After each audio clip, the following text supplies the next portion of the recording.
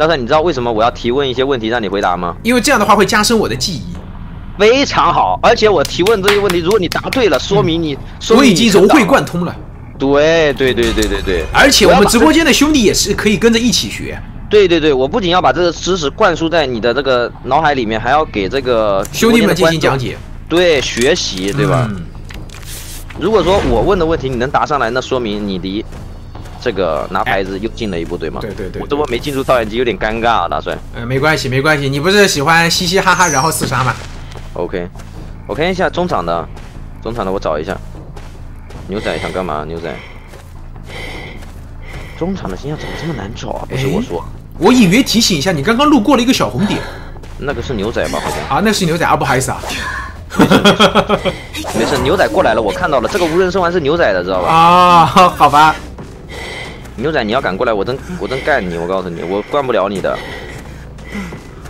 我跟你讲，大帅，谁谁过来，谁过来那个莫名其妙勾一下、吸一下、撞一下，我都要弄他的。我相信绝对好哥哥就是脾气比较大，不是不是暴躁，这话说的，暴躁老哥我很温柔的，好吗？啊，很很温柔的，还会气泡音的。啊。你怎么这样呀，大帅？我很温柔的。他他他他他过来勾你了，他真勾你了，怎么说？弄他不是，他也没勾到呀，大帅。没勾到，但是他勾了呀，他出勾了呀，他有这个意图。哎，我靠了，开局被秒到一台电机，那说明一个问题啊，大帅。就是他们有几个人在一起修的那一台。嗯，还有一个就是大概率是谁呢？大概率是冒险家挖宝秒的。但是这电机在哪里？好像在独栋吧。我等下播镜像吧。开局被秒了一台电机很难受啊，我这个开局，我炸裂开局啊，大帅还被盖了个头。然后人还没捡到，嗯，对，还没捡到。他开局秒了一台电机嘛，有可能是挖宝的，然后就直接秒的。但是我也是放放烟花缓解一下心情，对吗？对对对对对，等拍照吧，等拍照吧，冒险家被摸满了。那也就是说他们至少两个人在一起。对，是的。牛仔有实力啊，这牛仔，我认可他了，好吗？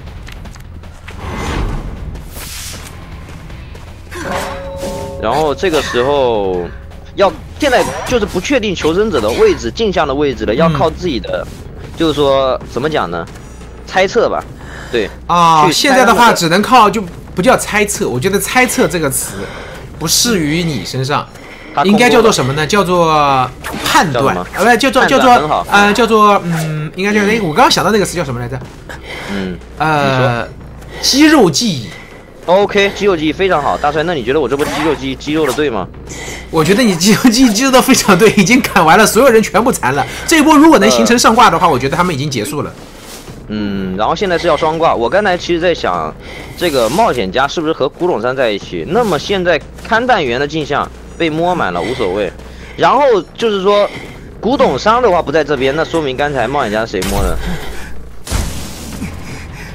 呃，我我我我我我我这我这我这波没听懂。有点小秀啊，这一波勘探员。古董那冒险家就是谁摸的？冒险家就是勘探员，他们俩在一起的呀。啊，我贴墙，防止一下被推走。死了，多地刀，飞轮很秀。我觉得他漂亮比我大多了，对吗，大帅？啊，我说，我觉得他的压力比我大多了。我觉得他已经被我的压迫感给吓着了。嗯，我现在脑子里面有点多，有我现在有点消化不过来了，说实话。你知道吗？我现在真的，你知道有一种就是就是上了大概两个小时的那种高速的课程之后，我现在有一种就是疲惫感嘛，好哥哥，我今天呃脑子里面灌输的知识有点多。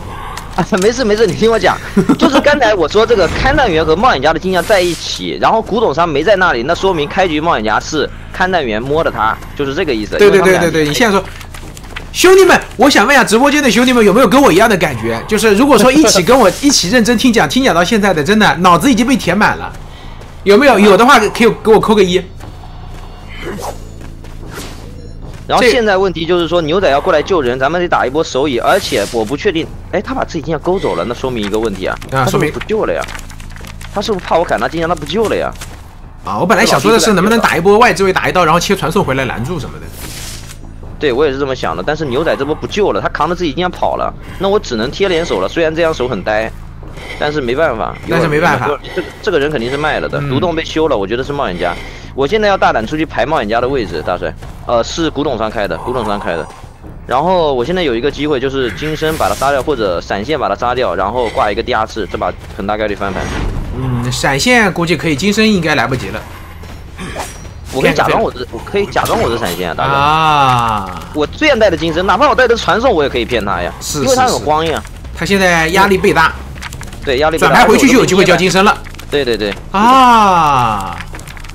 但是他并没有往那个方向走，对对对，然后现在问题，我把古董上杀了，我感觉电机也差不多了。对毕竟猫眼家也有输液什么的，现在我们已经判断不到了。云门云门，不敢云门吗？可能他已经猜到我是金身了。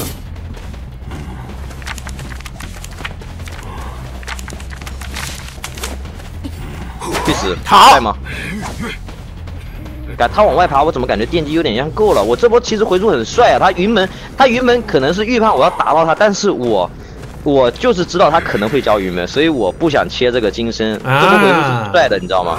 帅帅帅，听起来好像我是在给自己找理由，但其实事实就是这样子的。事实就是这样子这一波拍照的。这波操作就是古董商其实有非常大的操作空间，主要是什么呢对？如果说这波你交了金身，也没有那么帅，关键什么东西都没有交，就一个回溯他慌乱了，他要秒勾我，我回来。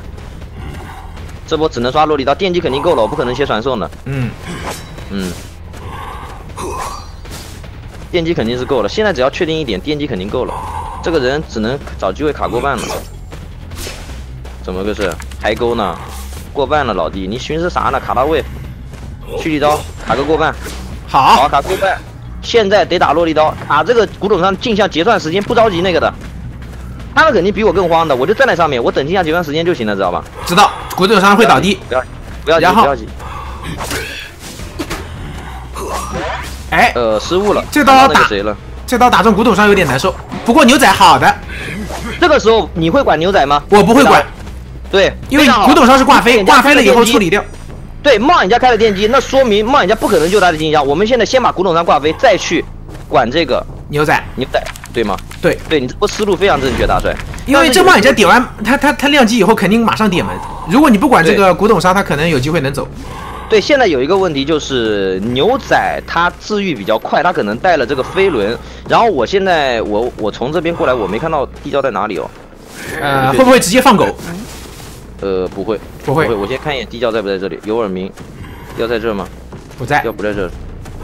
牛仔勾板子了，传送，传送他好像去中场地窖了。哎呦，那还是有点可惜啊，他有飞轮治愈太快了。那去独栋也也那呃，应该切狗，切狗也来不及啊。问题是他已经到这边了，切狗来不及。挂飞直接切狗，我感觉不一定来得及这波，你觉得呢？呃，挂飞切狗，如果说能精准判断到位置的话，咬住可能还行。要要要要，就是如果我站在你那个位置的话，我我主要啊为什么说切狗呢？因为你经常喜欢在这个时间点切狗。对对对对对。哦，我其实有一点失误了，我没有看墓地那个点是不是地窖。如果说我确定那个点不是地窖的话，我可能会切狗，直接从右边绕过去咬住它。然后，啊，对对对，